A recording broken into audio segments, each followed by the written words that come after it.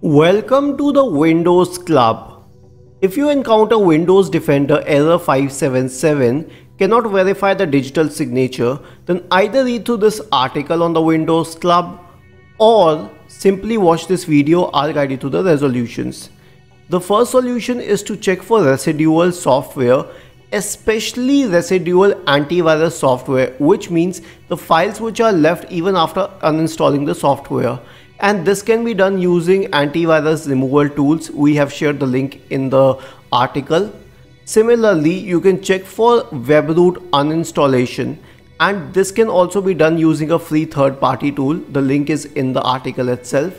Lastly you can turn on windows defender. How to do this? Press the Windows key and the R button together to open the run window. Type the command regedit and hit enter to open the registry editor window.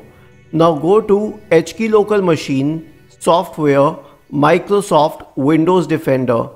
Double click on disable anti-spyware and change the value data to 1.